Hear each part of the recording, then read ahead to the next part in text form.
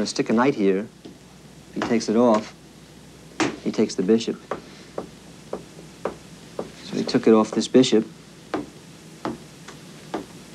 And he's threatening this pawn. I don't think he took his right away. I guess he played here first.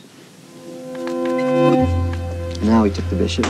Bobby Fischer is one of the greatest, perhaps the greatest chess player in the world. And now he took the rook. Bobby Fischer, United States. World title contender. Now uh, Black surprised him with this one.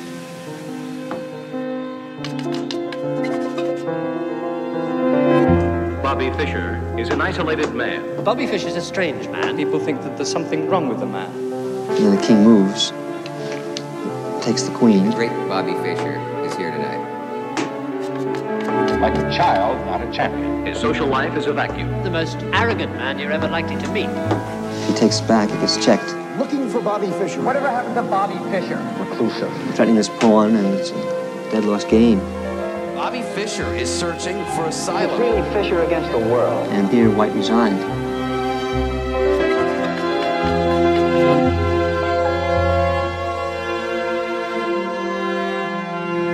Bobby Fischer interview. Right. Try, try not to tense up. Read. Bobby, uh, you've given virtually your entire life to the world of chess. What about Bobby Fischer, the man? What's he like? I don't know. It's pretty uh, uh, chess and me. You know, it's like it's hard to take him apart. You know, just like my alter ego. You know, I don't need to. You know, but there are times when you get away from that chessboard. What do you do? I don't do too much at the moment. See, I'm really, you know, tied up in chess. I intend to expand, but first I gotta get the title. That's basically.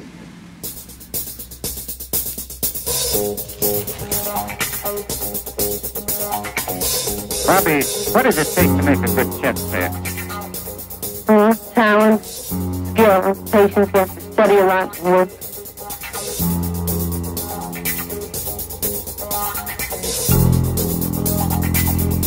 What would your ultimate aim be? Well, I'd like to be a world champion and keep it for uh, maybe 20 years or so. 20 years?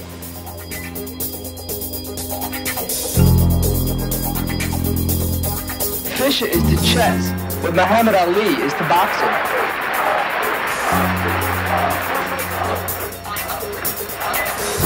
Will Fischer beat the Russian? Yes, Fischer will beat the Russian. You honestly think that you probably are the world's greatest chess player? Yeah, right. Yeah.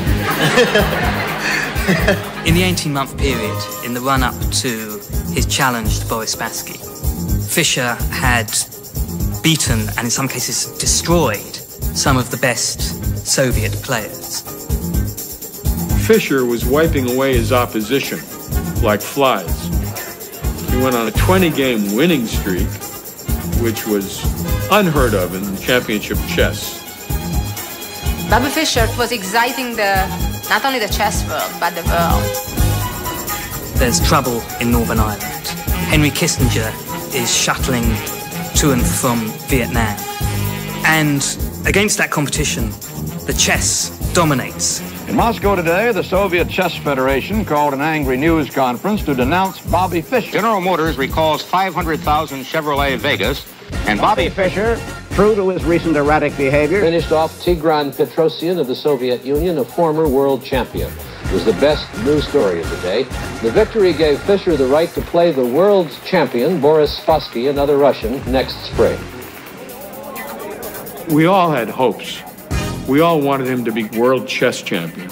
The one person he was yet to beat was Boris Spassky.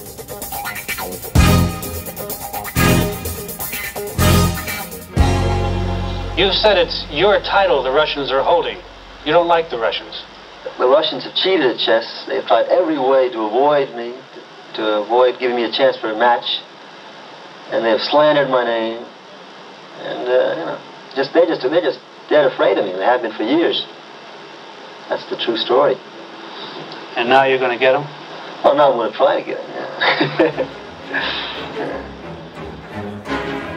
Soviets had been winning these tournaments, and I thought it would be good for America, for democracy, uh, to have an American winner.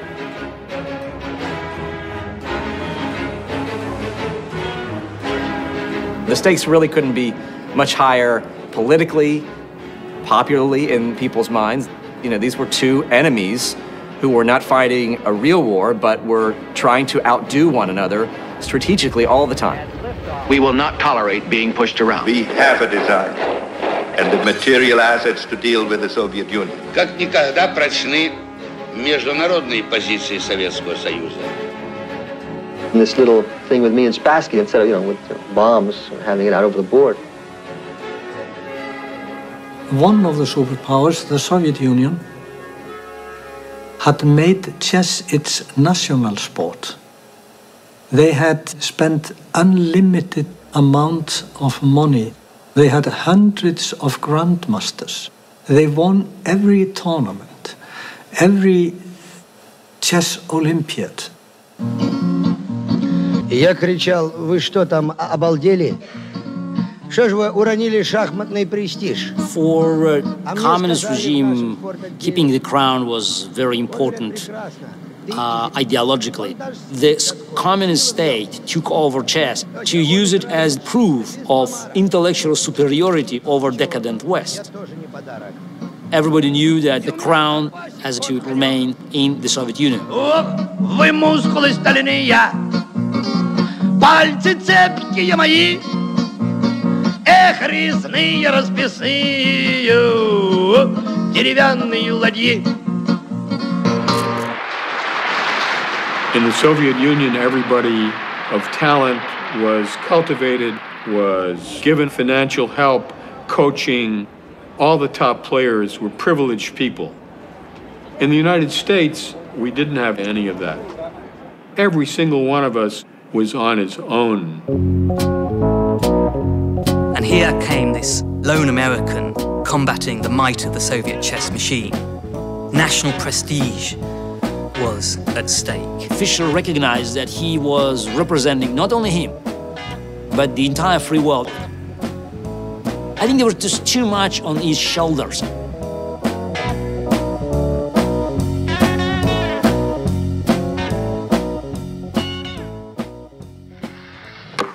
You tell us how old you are and where you're from. I'm 15, I'm from Brooklyn. He is 15 years old and he is from Brooklyn. All right? Will you show your headline to camera three and to Dick Clark? Because we'll make him go to work on you. It says Teenager's strategy defeats all comers. This strategy, did it involve uh, finances? No, Did you have any help? no. Did it all by yourself? Did it make people happy? Made me happy. This young man's name is Bobby Fischer, and already he is the United States chess champion. He is 15 years old and he has defeated the Masters. He is the United States champion in chess. I met Bobby when I was 14 and he was 8 in one of the chess clubs in Manhattan. He was the youngest kid around. He was unassuming. He was well mannered. He was a nice kid. His mother, Regina, she was a woman who had to work two jobs, single mom, supporting two children, Bobby and Joan.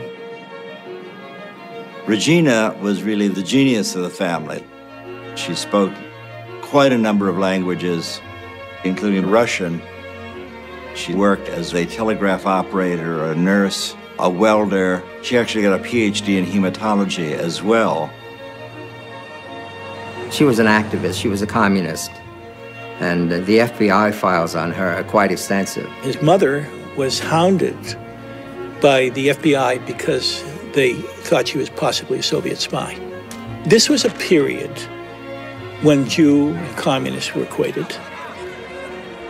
So his mother denied his Jewishness. His mother told him if he would be sitting on the stoop at 560 Lincoln Place, apartment 4Q, and somebody would come up to him and ask him a question, he would say, I have nothing to say to you. That was the proper answer that his mother told him to say. You're from Brooklyn originally. Chicago, well, born in Chicago, moved to Brooklyn when I was about six. I lived on the coast. Lived in... Were you playing chess by then? No, I learned in uh, New York, yeah. At uh, what age? Six. When did you start to get serious about chess? Oh, well, I was maybe seven. If you can think back to your childhood and all the things you did after school and on the weekends, and imagine just filling all that in with chess study, chess lessons, chess practice, chess competition.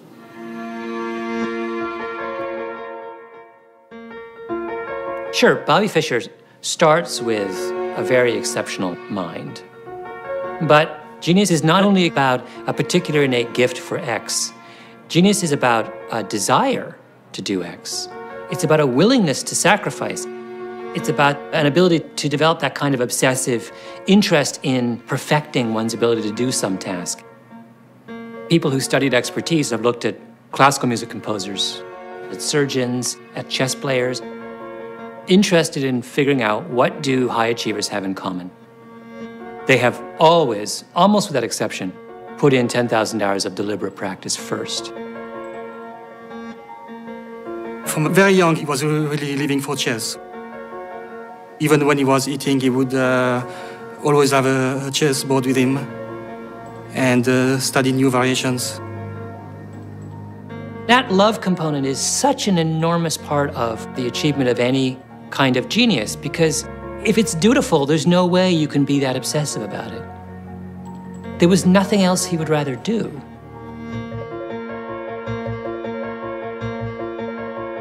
I started playing uh, games with myself. I would make the white moves and the black moves, and he'd just threaten his pawn, play through the whole game, and eventually I would checkmate the other guy. Or, uh, I almost always won. White comes out with a knight. Now he took the bishop. Brown. Then my mother started to get worried that uh, you know it wasn't healthy to you know playing chess by myself all the time. Now uh, black surprised him with this one. Regina was so worried that she decided to take him to a psychiatrist.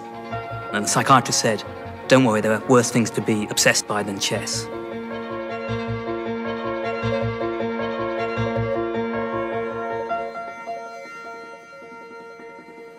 Everybody said to him, What happened? And he said, One day I just got good. He was suddenly out of everyone else's league, and everybody knew it. Fischer would open a chess magazine, okay, like this. He would open it like this. He would say, hmm, okay, here, let's see, here, okay, here, okay, here. Now, it looks like he's just like looking at the pictures, right? That's what you think he's doing. No, he's not doing it. He's playing through the entire game in his head in a few seconds. Every move. He went from being my peer in chess to being the United States chess champion. A quantum leap. That's when he first became famous. This is 1958. No chess player ever made much money in, in those days. And my father basically arranged an exhibition tour for him in which he went from city to city playing anywhere from 40 to 80 people at a time. And I don't know how much he got then, maybe $5 a board.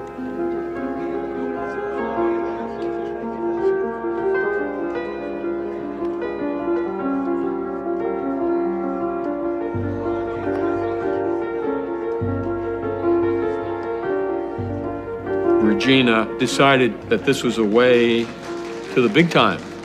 She'd call me up and say, I want Bobby to go on Channel 2 on Sunday, and he won't do it if I ask him, so I want you to tell him. He just wanted to learn the game, and she really wanted him to get publicity.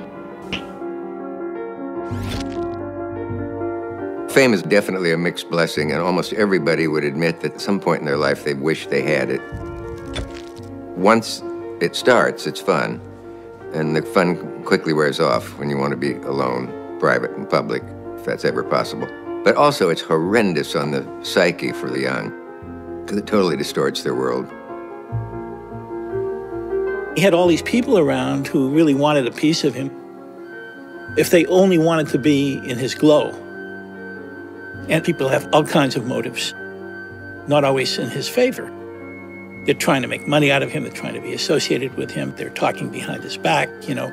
He, I mean, he couldn't stand any of that. Particularly, he couldn't stand the press because he was such an individual. He was an ideal object for caricature.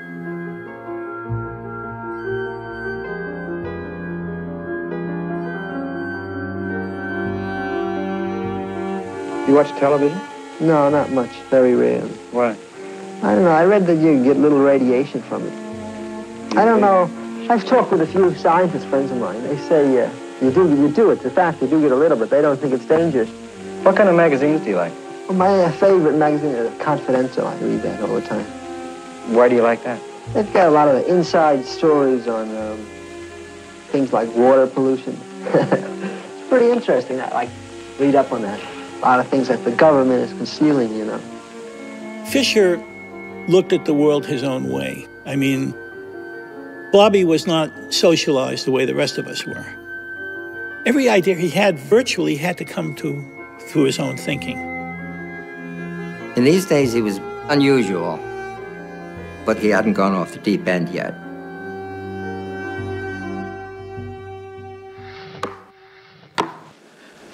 Boxing champions have been coming to the Catskill Mountains of New York for almost half a century to get in shape. But does a chess champion need to train physically? Take a look behind that window into the training headquarters of Bobby Fischer. Championship chess is a physically exhausting game. More than just a test of mind and will, it is a contest of physical endurance, too. Bobby is 29 and he lives virtually a monastic life. He lives alone, always in hotel rooms that seem barely larger than chessboards. A lot of the time, he won't even answer his telephone. The television set is his window on the world. Exercise is part of it. I'm a world class Olympic level coach. I'm also a world champion in the bench press, and I've trained a lot of celebrities, but no one can match the fabulous Bobby Fischer. He was interested in the human body, how it performed, and how it could be more productive. He said, I want you to work on my grip. See this dynamometer? I want to squeeze this thing all the way to the end. I said, the world's strongest man has not squeezed 100 kilograms. He said, I'll squeeze 105. I said, why? When I shake that little Russian's hand, I want him to feel it. I started him off with a little swimming, racquetball, which we were quite good at, a little weight training. And I said, repeat this after me. I'm a winner. I'm a champion. I'm not a loser. And he says, Why'd you put the loser thing in there? You know I'm a champion. Bobby is probably the most interesting person I've ever photographed.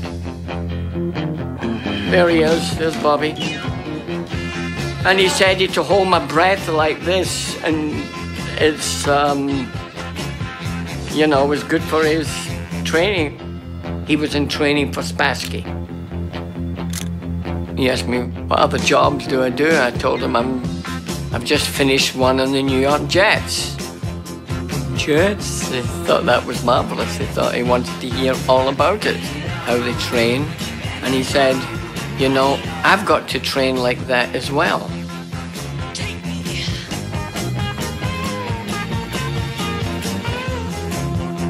And he didn't mind anything I did. But it could have gone either way. He treated everybody else quite awful. Bobby Fischer is a stubborn young man. Sometimes he fights for principle, more often just for himself. He'll refuse to play a match because his special terms aren't met. And for the past month, he's been giving fits to the International Federation, too. Not enough money for the winner of the world title, he says. There was bidding on the match, and Iceland got it, I guess because they put up the highest bid. And Bobby didn't want to play. He said the country's too small. They don't have the facilities, they don't have communication. The International Chess Federation wants word by tomorrow morning from Fischer on whether he's agreeable to 24 games in Iceland, and Fischer is taking his time answering. You, as president of the Icelandic Chess Federation, are there times where you have been tempted to say, let's forget all about it?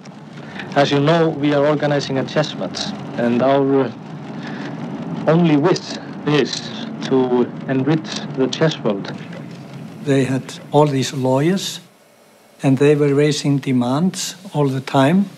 But at the same time, it was never clear whether Fischer would come to Iceland. Something like the pr- principal one was the uh, prize money. And I said, We have already settled the money question, and we will not be ready to discuss that.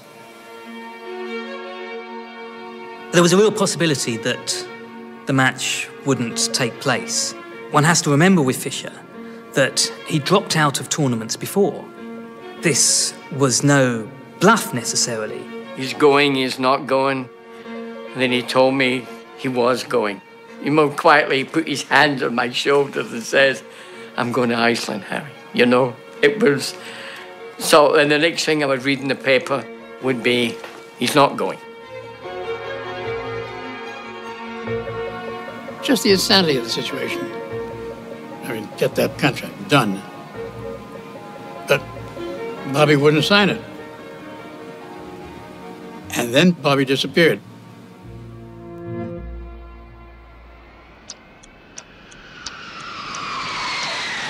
Boris Spassky, the world chess champion, came to Iceland 12 days before the match scheduled to start Sunday. Spassky said he wanted time to get used to the place, without, incidentally, being constantly molested by newsmen.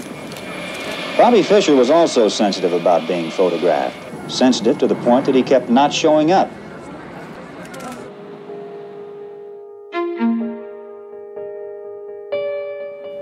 He was sitting in Pasadena, California, and my job, my personal mission, was to get Bobby to go to Iceland and play the World Championship match. But I didn't see any activity. I didn't see any plane ticket. I said, Bobby, I have to go to New York. My dad is sick. Let's travel together. You'll be that much closer to Iceland. He said, uh, Yeah, I think that's a good idea. Travel with a friend. Yeah, okay. I was getting him closer to where he had to go. We took him to Kennedy Airport. We were headed for the Icelandic Airlines counter. Somehow, a Daily News photographer spied him, and Bobby started running. He wasn't just running, he was sprinting. I turned around and I stopped and I put my hands up. I didn't say anything. And Bobby kept running right out of the airport to the curbside limousine and got in and left the airport. Where to? Nobody knew. It was only three days before the scheduled start of the match. Chess history was in the balance. I said, You could stay at my parents' home in Douglaston, Long Island.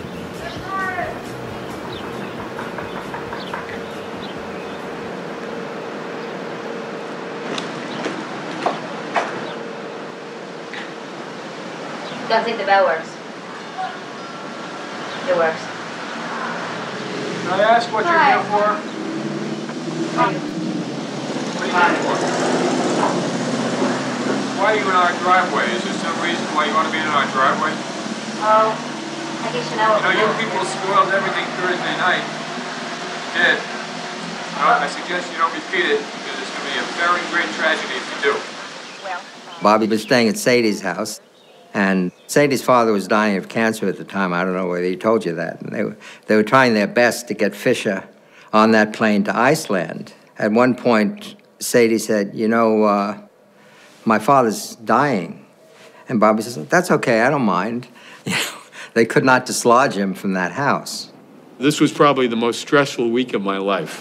Are you uh, Dr. Saidy? Yes, I am. Mr. Fischer made it clear that he would try to go to Iceland tonight. Did he express these thoughts to you? Made it clear to whom?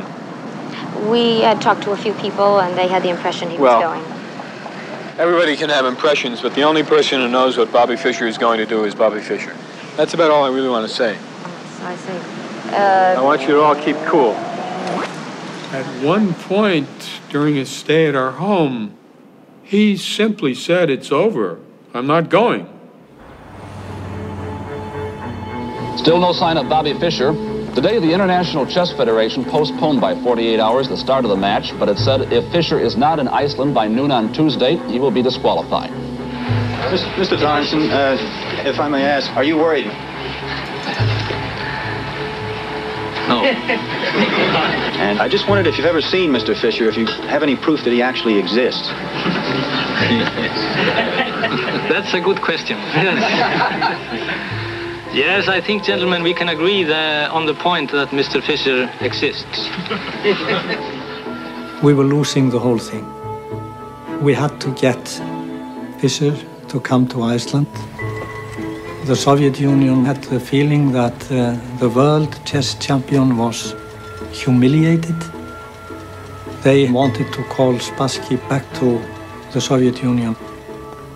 Boris said to me, this is a very severe situation.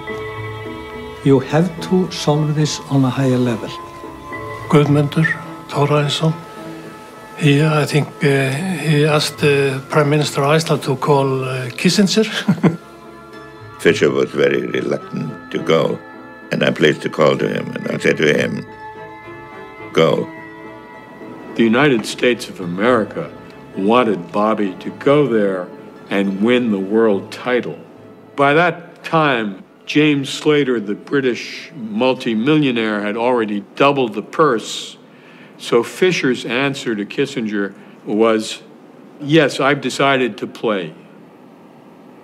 What finally did make you decide to go then? I feel that the, the prestige of this country is at stake. Some people have suggested this was a psychological warfare against Spassky on your part. Mm. Did that figure into it?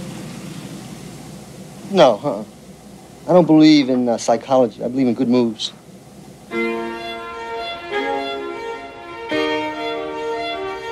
Bobby Fischer left New York for Iceland.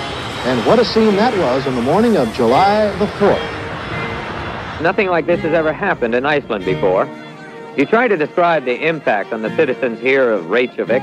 It's probably about the same as if the promoters of the next Joe Frazier Muhammad Ali prize fight decided to stage their international extravaganza in Butte, Montana. One observer said the chess match was turning into the biggest thing to hit Iceland since Eric the Red. Though some people were still mad at Fischer, others approved of his holdout for more money. Well, he was fighting for all the chess players of the whole world, I think. He's tedious, he's arrogant, he's inconsiderate. Uh, basically, people think that there's something wrong with the man. We wanted to receive him as a king. But uh, Bobby saw all the crowd coming against him. So he just rushed down the ramp to the first car in the Conway.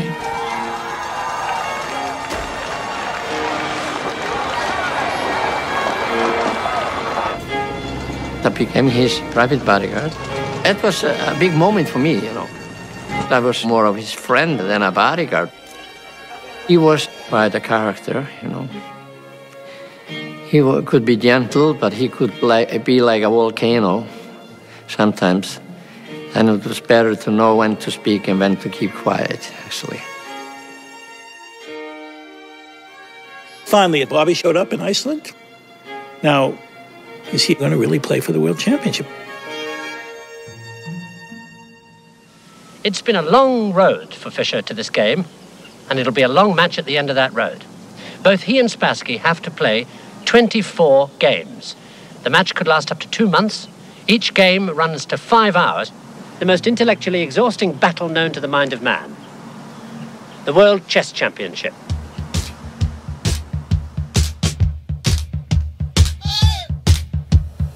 We had the Icelandic government, the Icelandic president, the ambassador of the Soviet Union, the ambassador of the United States, and many foreign guests.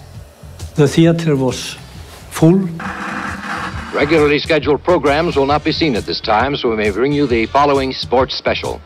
ABC Sports presents the World Chess Championship match between Boris Spassky, the defending champion from the Soviet Union, and 29-year-old Bobby Fischer, the challenger from the United States. It was the Super Bowl. The audiences were gigantic. People stayed home from work. People were lining up in front of TV sets in department stores. They were chess groupies. Times Square, They were showing the game live. It was that important. Let's find out from you, Larry, if there are any late-breaking developments. They might, they might fuss around with the chess pieces and the size of the board and the lighting, but I'm fairly confident the match will start on time. Boris Spassky, the world chess champion, was there with all his assistants, but Fischer was not here.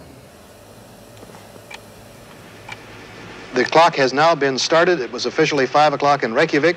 Spassky is obviously anxious about the whereabouts of Mr. Fischer.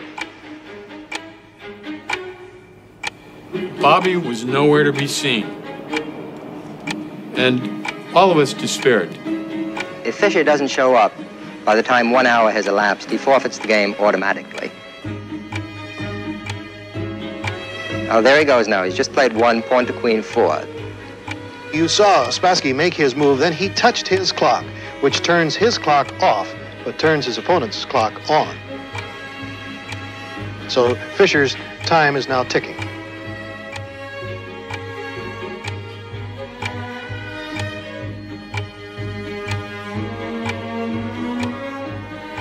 There was no certainty that even though this was the biggest match of his life, he would actually show up. See, many people think that his antics were designed to upset Spassky, to discombobulate Spassky, which they did, but I don't think that was their intent. I don't think any, any of this was directed against Spassky. It was his own inner demons that he was fighting.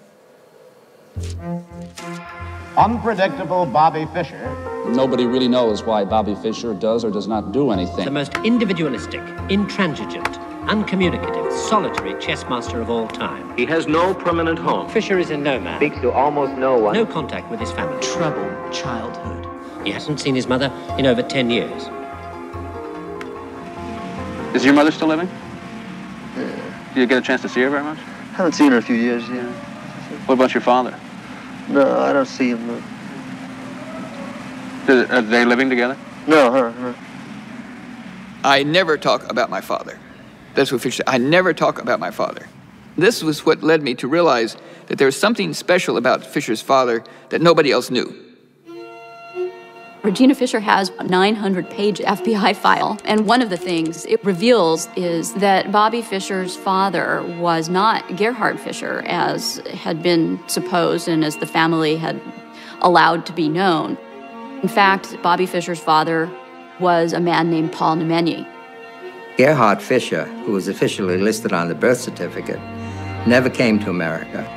Regina and Paul Nemenyi met at a university near Denver, and they had an affair. Regina moved on and uh, took the baby Bobby with her. Regina often, because she wa- was destitute and needed help, would go to social service agencies and ask for help. Paul Nemenyi would show up and consult with the social workers because he was very concerned about Bobby. He said that Bobby, even at a very young age, was a very upset child. He was afraid that he wasn't being raised right.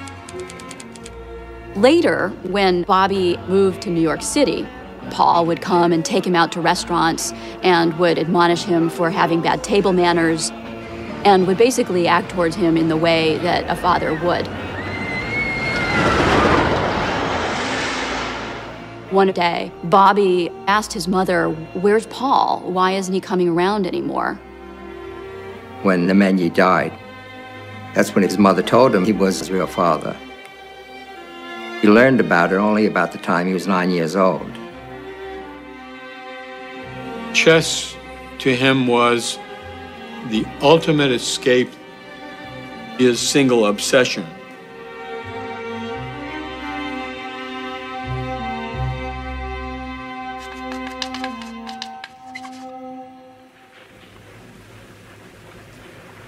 Well, Spassky is waiting. Right, and it, uh, waiting and wondering whether Bobby will show or not show. And there's absolutely dead silence in the hall. Spassky is pacing, he's nervous, and Wait, here comes Fischer, coming on the stage saying that he was caught in traffic. And uh, I think Spassky was visibly relieved. and also perhaps pained. It didn't look like this match would happen, but finally it happened. And it was phenomenal. How do you spell relief, okay? Now, for the first time, we're looking at Bobby Fischer, the man that eight times has won the United States Open Championship. I remember saying on TV at one point during the match, I said, you know, we're really lucky to be alive at this moment when Bobby Fischer is playing Boris Spassky.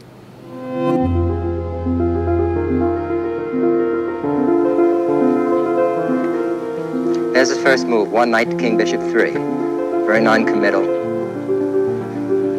Now watch, see Fischer turn around here? Yeah. He's checking to see that, that camera location.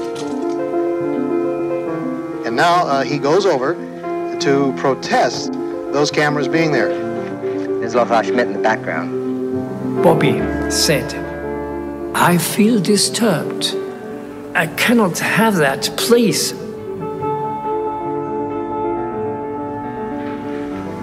Spassky remains serene and imperturbable throughout all this. The first game started out with uh, some minor psychological games in the opening, but then it calmed down, and the position that we reached after 28 moves seemed like a complete draw. It seemed like they're going to agree to a draw shortly and move on to the next game. All the pieces were traded. They got into an end game. Each side had a bishop and a bunch of pawns. It was a very easy, it was a dead draw. The position reached a very even position, virtually symmetrical. And Fischer went haywire. He did something that hardly anyone would do except a rank amateur. He grabbed a pawn, allowing his bishop to be trapped. He made a colossal beginner's blunder.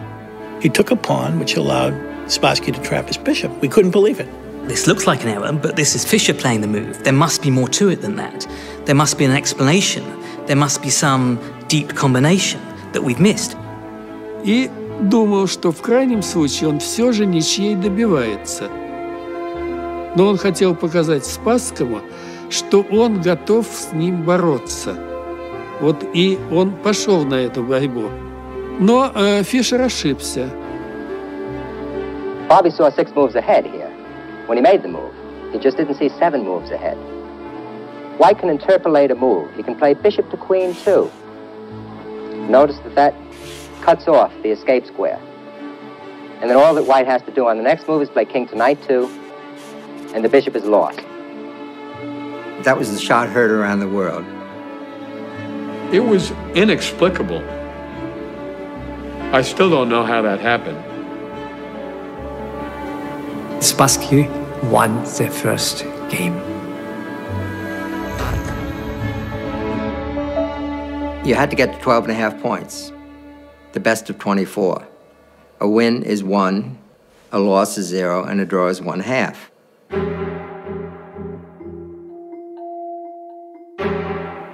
He had an agreement that the cameras be quiet, and Bobby said they aren't quiet, and um, they disturb me. He claimed that the noise from the machines was so high that he couldn't, you see, he couldn't think or concentrate. I believe that, by the way. I think that he had hyperacusis, a, a medical condition characterized by excessive sensitivity to noise. Fischer said he would boycott the match until hidden movie cameras are removed from the playing hall. The promoters said the entire financial structure of the match depends on recording and exhibiting the play.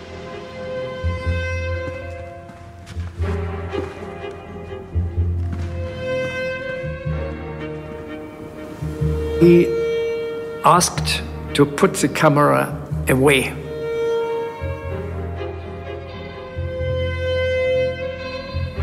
He wanted me to clear the cameras out of the hall.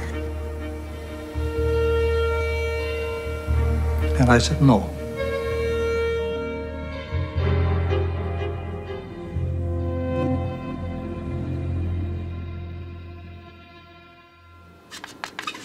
You have to start in time.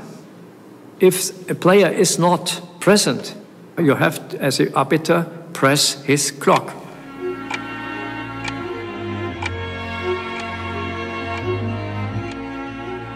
Fischer had been known to quit matches over trivia. So we were afraid that uh, he would just you know, run back home and would, would be the end of it. Bobby did not show up. I had as the arbiter to forfeit him, and for a moment I thought, did I made the right decision? Was it fair? Was it correct? But it was necessary. There was no other way. This uh, night I remember that I have been woken up by tears in my eyes that I, as an arbiter, had to destroy a genius.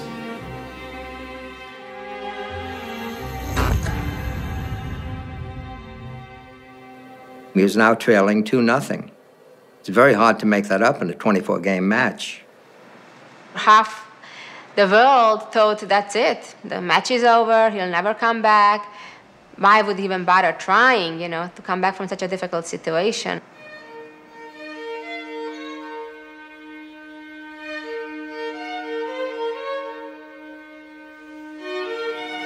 During the match, he would knock on my door about one or two in the morning.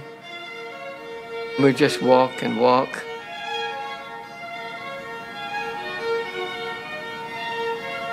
And we would sit and look at the animals.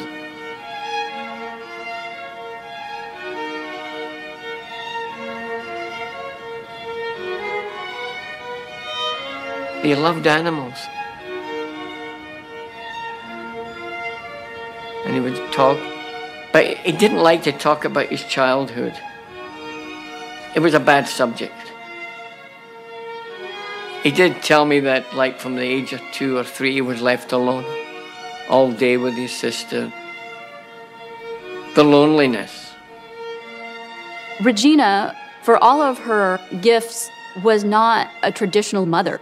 She was a person who moved her kids around from place to place, you know, even every few months when they were really little. There was obvious conflict between Regina and Bobby from an early age. He didn't like to have his mother around. She would end up having to send his sister Joan abroad with him on tournaments. He wouldn't play if his mother was along. Regina moved out of the apartment that he shared with her um, in Brooklyn when he was only 16 years old. He told his mom to leave, I don't know how politely, and she left. In a way, he rejected her because she was so like him, so pushy, so self centered, so goal directed. Maybe he was splitting off part of himself. In 1960, Regina went to Europe to get her MD degree. And Bobby would have still been living on Lincoln Place in Brooklyn then. I went to his apartment a couple of times, and it was roach ridden, it was a walk up tenement. He had chess books all over the place, and he was just in a complete state of disarray. The fact is, his mother left him. Think about yourself. If suddenly uh, your father wasn't there and your mother disappeared, said goodbye, how'd you feel? What would have happened to you? Bobby is all chess. I don't play chess, and I don't pretend to speak for Bobby. But I feel that whatever I do here, whatever I say to help make the Vietnam come to an end more quickly, will help every son, every daughter in the whole world. One, two, three, four, sign the treaty, end the war. One, two, three, four, sign the treaty, end the war. One, two, three, four, sign the treaty, end the war. You're not going to believe this, Bill, but I'm inside of a wind tunnel about uh, 12 feet away from where the players are playing. Um, the problem, of course, is that Fischer has uh, stated that he wants no noise, no disturbance whatsoever. Fischer said, Well, I'll continue, but the third game has got to be away from the auditorium inside a sealed room. There's a little ping pong room in the back of the stage. And Spassky agreed. You can't change the location without both sides' permission once a match has started. He could have claimed the match on a forfeit. He didn't have to play in that pack room. If he hadn't, Fischer would have not played, and uh, the match would not have continued. Bobby started again to quarrel. No, not this one and not that, etc. And Boris said in this moment, uh, so I, I retire. I, I do not want this. This is too much for me. I, uh, if, if so, we end the match. The two boys were standing together at the table, and I took them here, both, pressed them down in the stool. Now you play. Boris automatically made his first move. The game could still be watched by a closed circuit TV camera. The audience was in the hall and they could follow the game uh, move by move.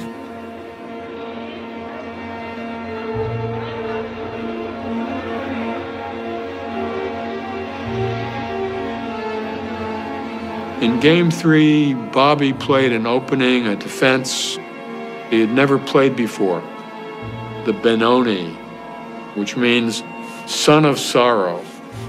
It is so risky, so fraught with danger that whenever you play that, you're, you're simply saying, we're not going to make a draw.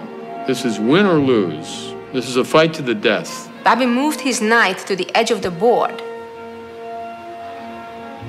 There's a saying in chess, Ein Springer am Rand bringt Kummer and Schand. A knight on the side I will not abide. It was against principle. It's not considered a good idea because the center of the board typically is the most important battleground, and that's where we want to position our pieces, or at least in a way that our pieces attack the middle of the board. Not only did he move the knight to the side of the board, but it also could have been captured by a bishop, and he would have had a very ugly looking double pawn way over on the side of the board, which it was very unaesthetic, let's say. Uh, so see Spassky, Spassky is literally sitting on the edge of his chair, which seems a little more relaxed than Spassky, but Spassky is very tense. Uh, more tense than you've seen him? Yes. I think he feels that he, he may be, He may be what? may be losing the game. I see. Spassky obviously hadn't spent that much time playing, uh, studying this kind of position because the move was, or the idea was relatively rare. So that put already Spassky in a difficult psychological uh, position. Spassky did not find the best continuation and was consistently outplayed until Fischer won his first game of his life against Spassky. He was on the scoreboard.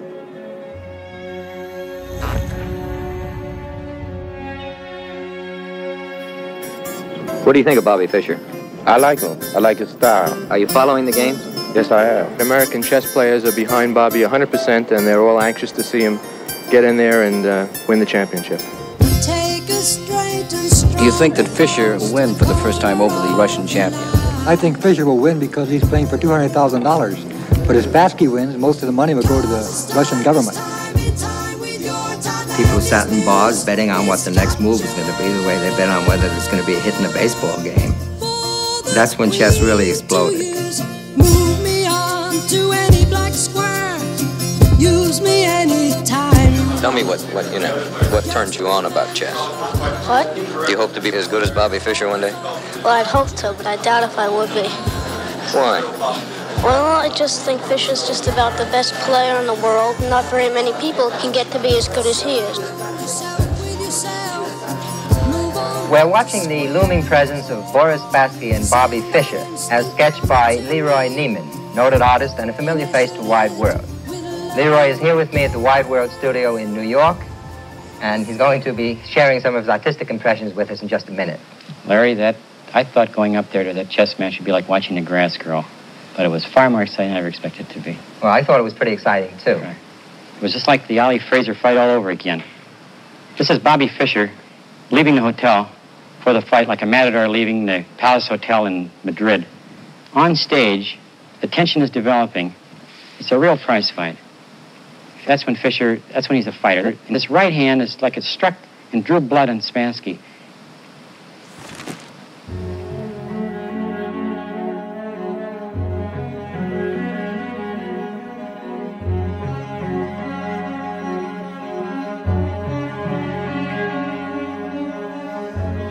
The score was even. Two and a half, two and a half. Spassky was not himself. All these shenanigans had affected him adversely. He was not playing his true game. Полный разгром, фиаско. Почему Спасский был э, ну, в какой-то степени упрям? Потому что э, когда встречается двое, я повторяю, нет, и когда кто-то что-то уступает, нету вакуума психологического. Если ты уступил, то это место занял другой. Вот так произошло в третьей партии. К нам поступила, наверное, масса писем, и а в письмах говорилось прямо «Следите за Фишером, он вот то-то, то-то, то-то делает». They believed that the chairs had been wired and the lighting fixture to destabilize Boris's concentration. That's when Boris cracked. Spassky complained that there was some uh, radiation uh, which was affecting him. During the match, I felt myself quite unusually, like before. So that was a reason to, to be for myself. I'm not suspicious man, to become suspicious. There might be something in the chair. There might be something on the surface of the chair. There might be something in the light.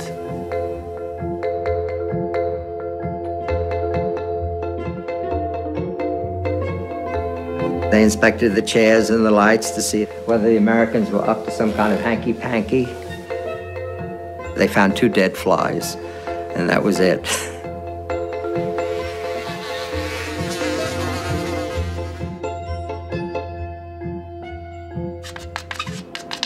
Game six is very celebrated. It is probably the most reprinted game of the entire match. It was like a symphony of placid beauty. Right on the first move, Bobby Fischer came up with a major surprise to the entire world. He almost always starts the game with moving the pawn in front of his king, two pawns up with e4. Что он был очень постоянен. Ел манную кашу и яйцо в смятку и чашку кофе, то он продолжал это в течение многих лет. То он из турнира в турнир продолжал это играть. And in this game, everybody's shocked. He started with the English opening by playing c4. Spassky's preparation was out the window. I'm sure he prepared for many things, but not this. Fischer did not play his usual game. He played a different kind of game, a placid, positional, slowly building up game where he deprived Spassky of mobility, pushed him back where his pieces could not do anything. And it was just, uh, just a beautiful game. Uh, I don't know what more can be said about it. It's just a model of precision. It was such a beautiful game that when the crowd applauded at the end of the game, Spassky himself stood up and applauded Fischer.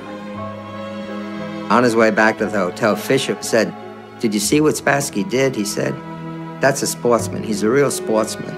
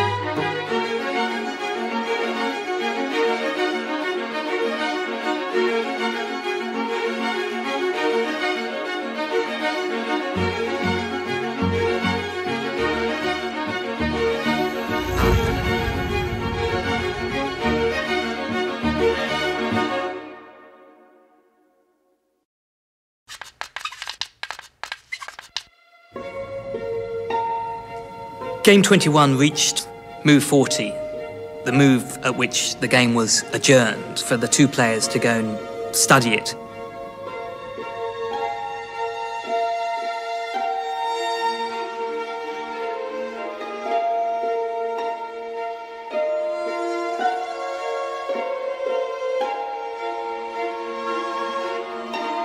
This is NBC Nightly News, Friday, September 1st. Good evening. We'll have more on the developments in the Watergate bugging case. We'll hear George McGovern talking about tightening up his campaign organization, and we'll have a look at the new unemployment figures. And first, Bobby Fischer. Today was the day when Fischer and the Russian champion Boris Spassky were to have finished the 21st game of the World Championship, a game they started yesterday. But Spassky, after what must have been an agonizing night spent analyzing his position, didn't even show up to play.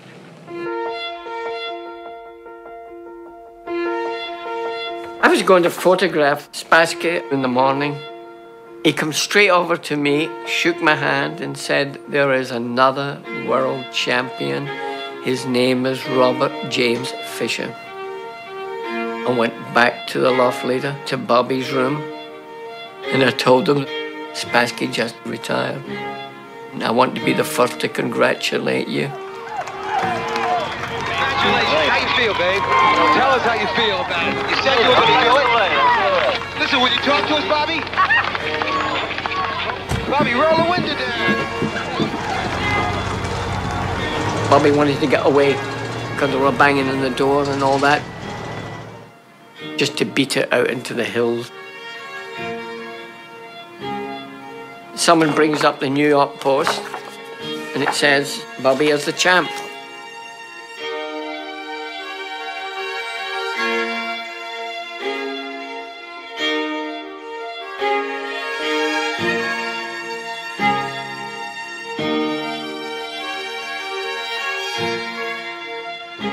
His mother had said to him when she saw she couldn't separate him from chess, she said, Okay, go play chess. When that's over, you can start your life. You can do something important. NBC News correspondent Dick Schaap was in Iceland today, and here's what Fischer said. How, how does it feel now? You have the world championship. You're the best in the world at what you've devoted your life to. How does that feel inside? Feels pretty good, yeah. I mean, my goal now is to play a lot more chess. I feel I haven't played enough chess.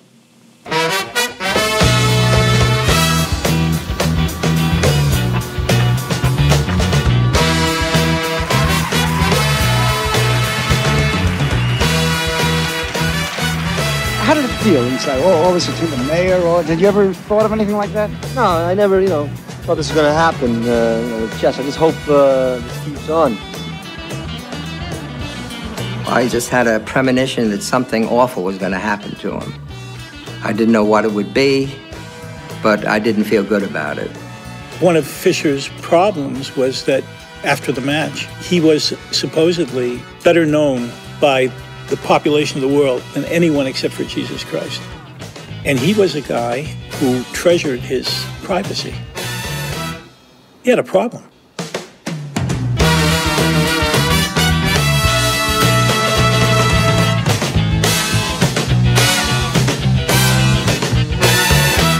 The entire world knows the name Bobby Fischer by now.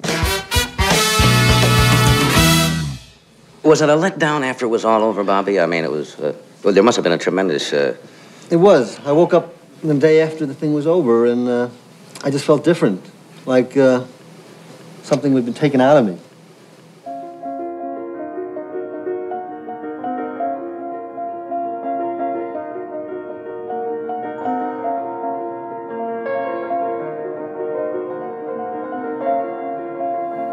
He didn't really, after he won, know what he wanted to do with his life. He, had, he reached at an end point when he was 29. He was 29 years old, and he hadn't had a childhood.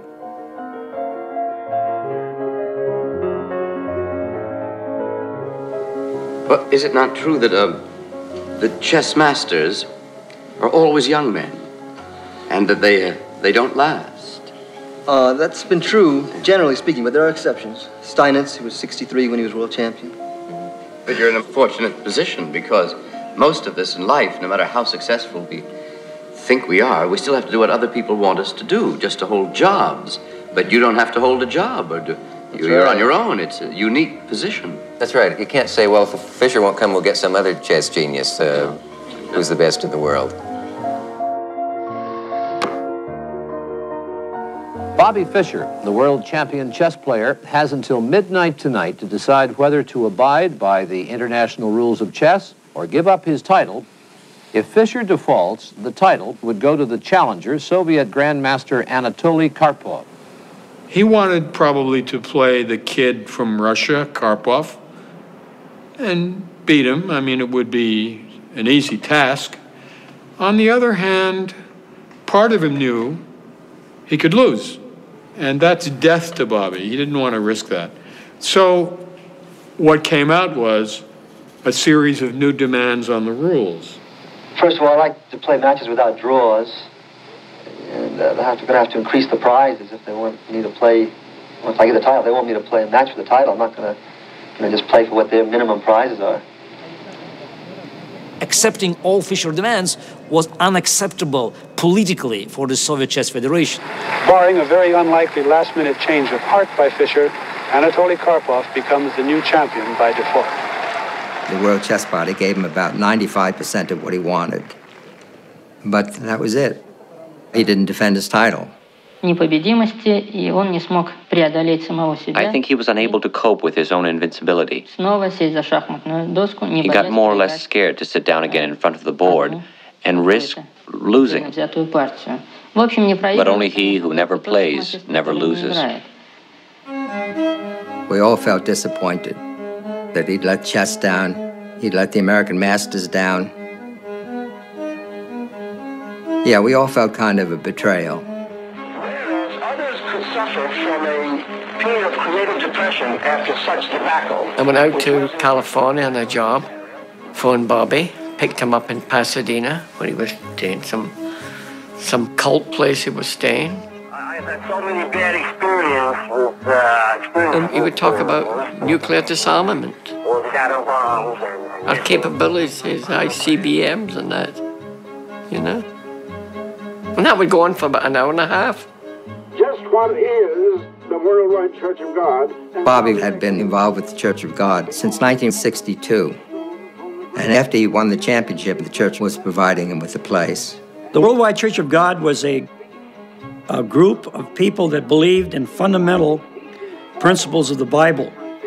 Some people would probably call us fundamentalists. That will bring on the great tribulation, and that will end in the second coming of Christ, the end of this present civilization. Basically, a sense that there was an impending coming Christ, and we need to prepare for that particular second coming. I told him it's all a bunch of hooey, but uh, that's what he chose to do. I have warned you may be living in the time in which you will see I went to his apartment in Pasadena.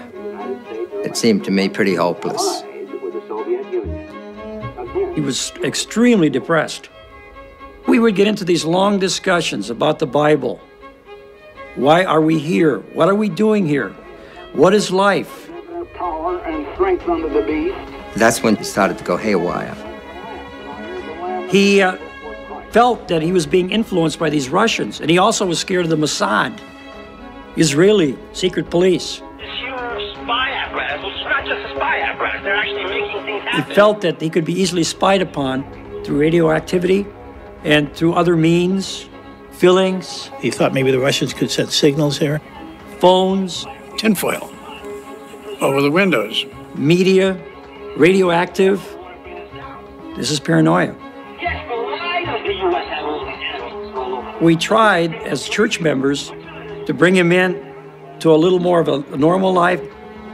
I think he turned against the worldwide Church of God when one of its prophecies patently did not come to pass.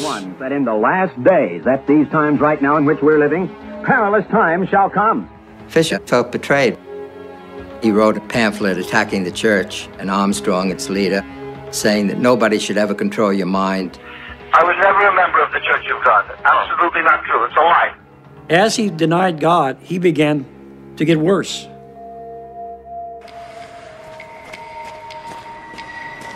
He started to go astray. he started reading the protocols of the Elders of Zion, which he mentioned to me, and I said that book is a forgery and it's a hoax and it's a bit of anti-Semitic propaganda that even Hitler used. Protocol number one. What has restrained the wild beast we call men? He got into all these doctrines. What has influenced them heretofore? The Illuminati, all these different people that were going to take over the world. Protocol number nine. Merciless revenge and bitter hatred. From us emanates an all-embracing terror. We began to see less of Bobby because we didn't want to expose our children to the famous uncle who's become fulminating anti-Semite. Hitler said in Mein Kampf that the Jews are not the victims, but they're the victimizers. We could be having dinner and he would suddenly start thinking about the Jews did this and the Jews did that. And in our house, it was just unacceptable. They're actually making things happen and causing revolutions and killing people all over the world. We start mixing fish with humans and any, anything's possible. His mother was Jewish. His real father was Jewish. It's complete madness.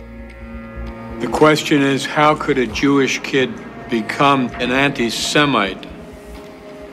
Paranoid psychosis. He had false fixed ideas of a very widening conspiracy against him. It was as if he were at war with himself. He became a recluse. Official watchers refer to it as the wilderness years.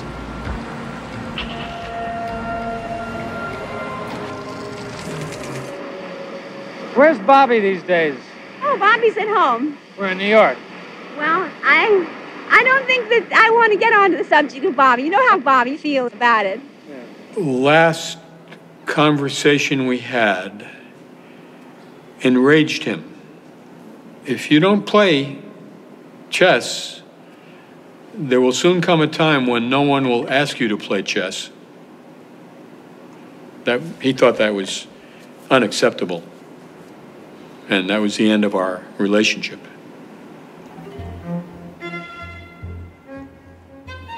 If you look throughout history, there have been a disproportionate number of extremely talented chess players who've also had serious psychological issues. You are putting yourself in a world that is infinite. It's uh, it's abstract. You are, in essence, reshaping your mind. If you understand that in the first move of a chess game, each player has 20 possible moves. If you multiply 20 by 20, that means there are 400 different possible chess positions after the first move. The tree becomes with a lot of branches, you know, that you start with one move and on that one move there are several options. Then all of a sudden it becomes a jungle. The number of all positions that theoretically can occur in the game of chess is something like 10 with 45 zeros. It's like the number of atoms in the solar system. You're trying to anticipate what your opponent might do, and you don't know what he might do, so you're thinking of all the different possibilities. A good chess player is paranoid on the board, but then if you take that paranoia to real life, it doesn't play so well. You end up seeing your real world according to the confines of chess. There were some that came to sad end. I mean, we like to think that chess didn't cause that, but maybe, maybe it did. An individual with an unbalanced tendency, by becoming a chess monomaniac, will throw himself over the brink. Yeah, we have some examples where people of um, exceptional abilities were infected by this uh, uh, mental illness. Victor Korchnoi claimed to have played a match with a dead man. He even provided the moves. Rubinstein, Rubinstein jumped out the window because the fly was after him. William Steinitz. Steinitz was in an institution. Steinitz in late life thought he was playing chess by wireless with God Almighty and had the better of God Almighty. Carlos Torre took all his clothes off on a bus. And the probably greatest name, the greatest impact on the game of chess uh, in the 19th century belonged to an American player, Paul Morphy. Unfortunately, there's some resemblance with Fischer. Paul Morphy was an American player who stunned the world with his chess play. And then at age 26, he wandered the streets aimlessly, he muttered to himself, he became a paranoid schizophrenic. His tour in Europe in 1858, 1859 was one of the most unforgettable events in the history of chess. And then Morphy stopped playing chess.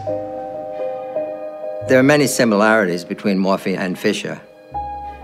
People are always going to uh, equate their names together. They both gave up the game at the height of their powers. And disappeared into a uh, world of, neuro of neurosis, of psychosis.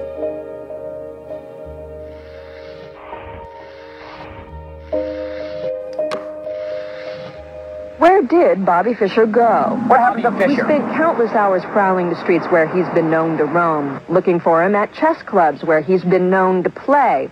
Ultimately, the Now investigation was successful. We found Bobby Fischer. The quest paid off. You got him. In 1990, he shows up in Pasadena, a little on the heavy side. He's handing me this letter.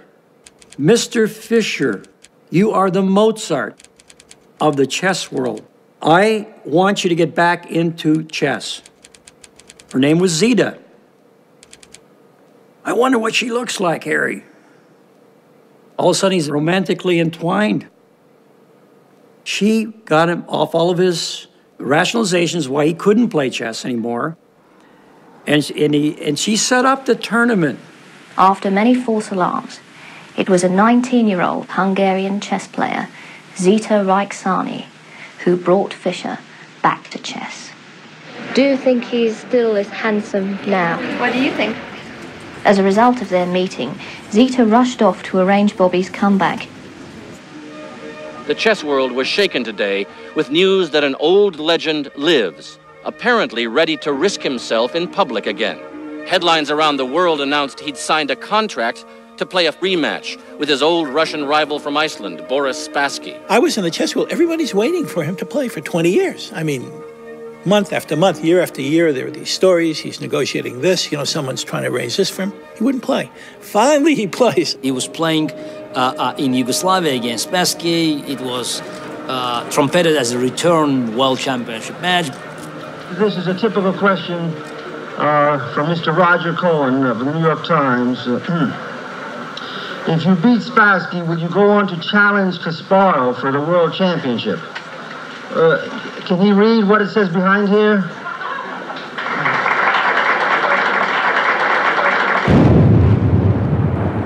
The match took place in Yugoslavia during the middle of the Yugoslav war. And by participating, Fischer broke a UN backed embargo. The US government sent him a letter and said, Don't play. If you do, you're going to go to jail. This is my reply to their order not to defend my title here. That's, that's my answer. The match of 92, in my view, had no chess relevance. They played a very decent chess, but it was chess of 1972. It's like watching two old boxers come back into the ring for one last payday. A slightly sad affair where both players are clearly past their best. Both Fischer and Spassky are shadows of their former selves. He won and won several million dollars, but was declared a criminal for having taken part in the match. Today, a federal grand jury here in Washington charged Robert James Bobby Fischer with a criminal violation of the United States imposed sanctions on the Federal Republic of Yugoslavia. Fischer faces up to 10 years in prison, and the millions of dollars of proceeds of the chess match are forfeitable to the United States. Bobby Fischer, like anyone else, should be held accountable for his actions. The cost was very high. I mean, he lost his country, he couldn't come back, he was indicted. A lot of people questioned the validity of this indictment, but it was a law, so Fischer broke the law. He couldn't come back in the country. They were about to arrest him. So he became an expatriate.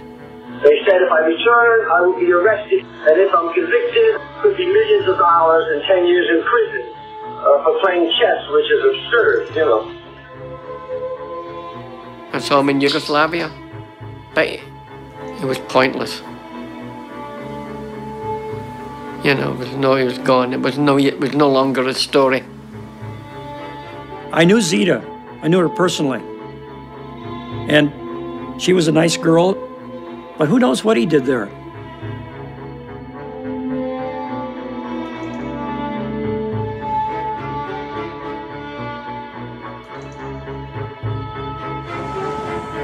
Joan had gone to Hungary in 1995 to visit Bobby when he was staying in Budapest.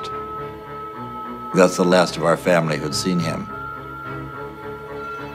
Regina died in 96, and my wife Joan died in 1998 from a cerebral hemorrhage, no forewarning at all. Died within a half a day. It was a tragedy. His mother dies, his sister dies. Bobby was stripped of any family support that he could hope for. And when he was a man without a country, he got worse and worse. 我们来看这条震惊世界的消息。北京时间今天晚上八点三十分左右，两 This is all wonderful news. It's time for the fucking U.S. to get their heads kicked in. To get it's time to finish off the U.S. once and for all.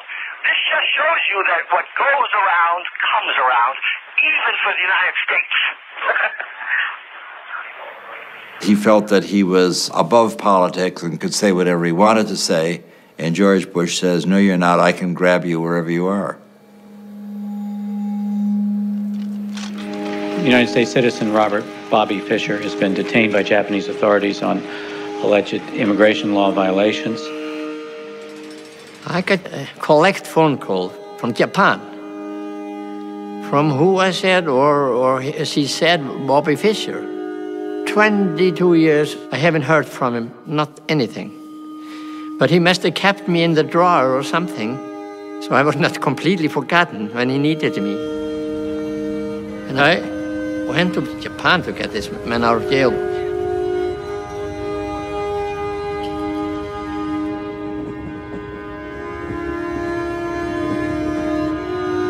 When I saw him there, that was on his birthday. He asked me if I could help him out, you know. I said, I will see what I, I can do.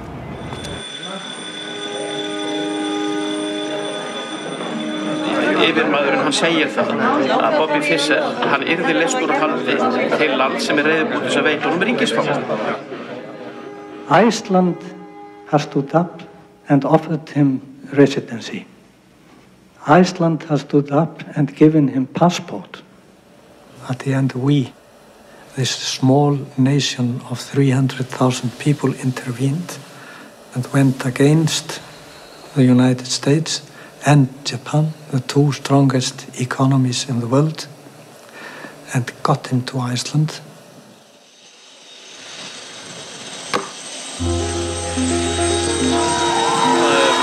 Manna eru farin að einblýna á þennan sem stækkar sífælt. Þarna er örþreyttur Bobby Fischer um borð á samt unnustu sinni og föruneyti eins og Pall Magnússon sagði. Hann er verið flaut. Welcome to Iceland, Mr. Fischer. How does it feel to be home? Great, great. You're getting quite a hero's welcome. Did you expect this? No, I didn't. We've got a car waiting for you. This is your uh, first time in Iceland in quite a few years. Uh, you weren't that thrilled the first time around. Think it will be better this time? That is not true. I never. I, you mean you mean I didn't want to play here originally? Uh, well, the, yeah. I'll explain all that. That was all a CIA setup. I'll explain that someday. We look forward to that. Bobby Fischer, welcome to Iceland and thanks for talking to us. Have a good night.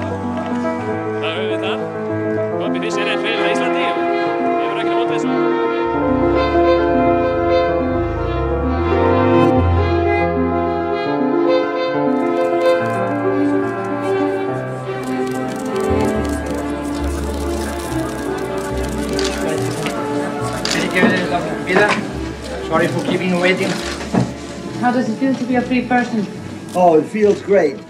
You got a wonderful country, wonderful uh, fresh air, very uh, fine people, um, excellent food, uh, plenty of room. What's next, Bobby?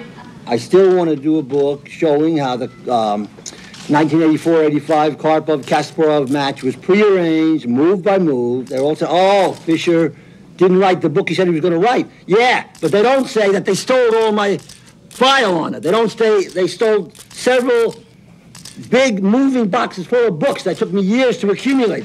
What, what is your name? Jeremy. Jeremy what? Schaap. Your father was Dick Schaap, you were telling me last night? Yes, exactly. Yeah, I knew him, yeah. He rapped me very hard. He said, I don't have a, a sane bone in my body. I didn't forget that.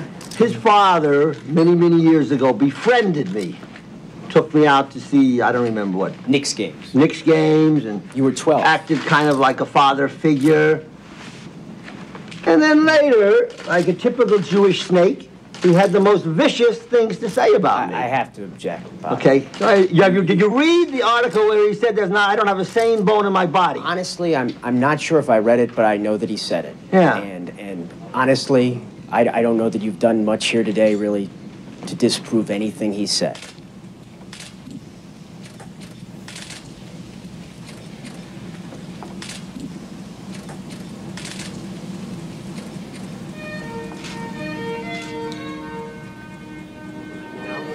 I met Bobby after he came to Iceland. His existence was a very lonely one. He uh, gradually, in Iceland like everywhere else, he alienated people with his behavior. I had two, I had one huge safe. We just walked around the pond downtown Reykjavik and we talked and we had coffee together and, and uh, then I met him a few times when I ran into him on restaurants, etc. The U.S. didn't give a damn what their opinions were anymore. Their role was over. Now the bomb belonged to the government. Do you understand? This, this is this is. And then and they, and they And were, wait, and, wait. and they were shocked. They didn't believe it. Li- listen to me. There- if there was if so- we are going to have a fucking Uh, conversation, okay, okay, yeah. all right? Yeah, then yeah. this cannot be a monologue. Uh, okay, all right? yeah, You- He uh, could not tear himself from the topic of the evil nature of the Jews and the evil nature of the United States or the evil nature of nuclear power. He talked about this relentlessly, and you couldn't really couldn't pull him out of that discussion. It was not just that he was talking about it. It was also like, the like obsessive, compulsive nature of the discussion, No? the relentless nature of it. You it. don't see how fucked up the world is. That's a I- fo- a form of insanity. The last time I ran into him, I uh, turned him away from my table because I had gotten enough of him. Most of us think within relatively narrow boundaries. But occasional individual manage to get outside of the box. Those are the people who make new discoveries. Those are the creative people. But occasionally, it is difficult to get back into the box. And the king moves, takes the queen. His genius Gonna stick a knight here, and his illness are joined at the hip. and now he took the rook. I don't think that Bobby could have been as creative, as extraordinary, without being extraordinary in other aspects. And that aspect we call a disease. So the whole game's collapsing here. It's we resigned. I don't consider myself to be a genius at chess. I consider myself more to be uh, a genius who just happens to play chess. You understand? So I could be doing any. I could have done and I can do any number of other things, you know? You know, I always wanted to write some songs. I was telling Evans, uh, Larry Evans, this is back in the 60s, I remember. I said, you know, I listened to all these songs and I wish I could write that, but I, I try to write something, I try to think of something, and like, I just, nothing comes out. And he says, yeah, because you haven't lived. And I started thinking about it. He's right. my all my other li- uh, regular library, all my personal correspondence, all my chess sets, all, all, the, all kind of stuff. All, everything is stolen. Everything. All my chess library. He died from his psychiatric illness. He did not want to accept treatment for benign prostatic hypertrophy. He refused dialysis, I understand. Probably could have prolonged his life if he'd taken it. I was able to get him a photograph of Regina and Joan to have with him, which is what he had with him in the hospital when he died. Reportedly, Fischer's last words were, Nothing is so healing as the human touch.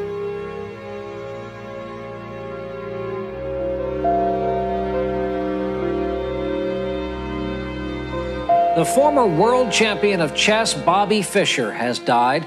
His career reached its height during matches with his nemesis Boris Spassky back in 1972. American chess superstar Bobby Fischer has just died. Former world chess champion Bobby Fischer has died, considered by many as the greatest chess player of all time. Bobby Fischer dead at the age of 64.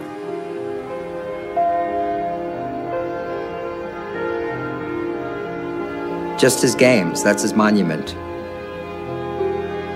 His games. If you love an art,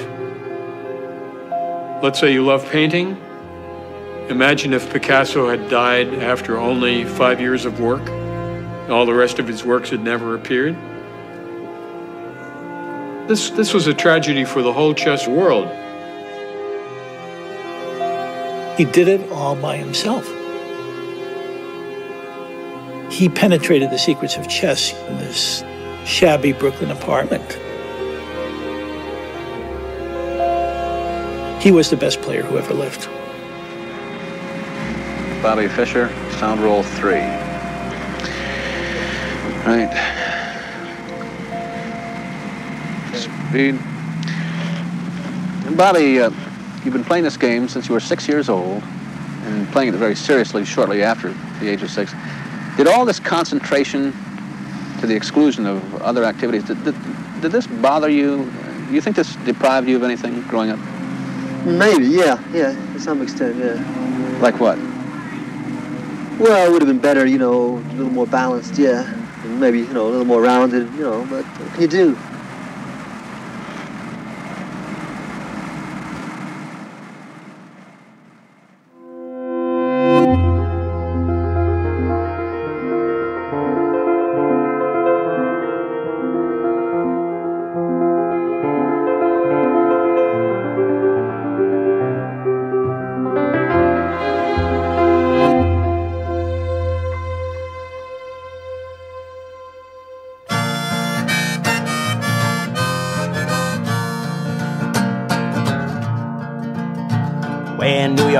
City, summer sweat, and the boys are rolling their cigarettes.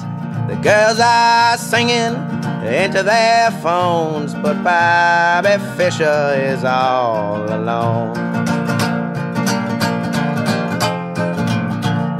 The parks are buzzing with the birds and the bees. Friends are hugging in twos and threes. Lovers are kissing and exchanging their rings, but Bobby Fischer's playing 18 kings. They're screaming and crying at the YMCA. Bobby, Bobby, why'd you go away? His mother is whispering quiet and low. Bobby, Bobby, where did you go?